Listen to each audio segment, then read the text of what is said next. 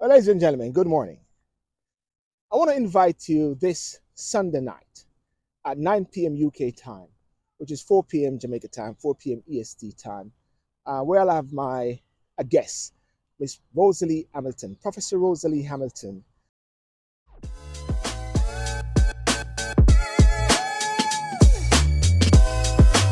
Show which is talk about governance in Jamaica and human rights. Governance.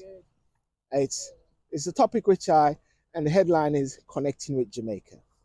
You know the diaspora has been saying a lot these last days, and there seems to be an awakening.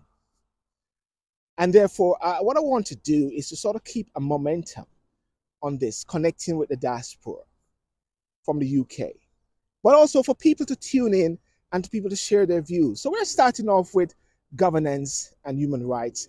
Going to tap into constitutional reform. It's going to be running every two weeks as well with different guests that I hope to have as well to share the stage.